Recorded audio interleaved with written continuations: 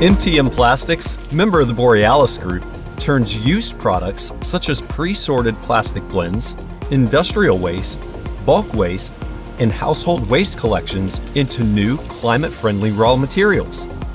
The produced products are mainly Dipolen, a high-quality polyolefin blend for extrusion or injection molding, and Purpolen, a new sorted recycled material, which is available as HDPE and PP, which are especially suited for demanding end-user products.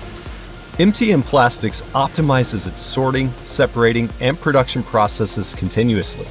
And their products are much more than just recycled material. That's why it's better to call it upcycling.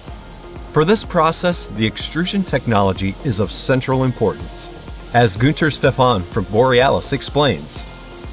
Here at MTM, uh, we proceed post-consumer waste. Post-consumer waste is collected in households and it's collected in, um, in recycling centers. Uh, there's many steps when you process post-consumer waste and at the end is the extrusion step. This is a very important step because there, uh, if you do it right, uh, you can really add the value of the recyclate and give it another life.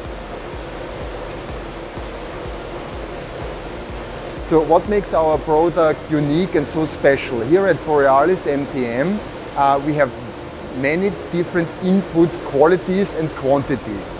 Uh, we are capable here of producing a constant quality output recyclate which can be used for high-end applications.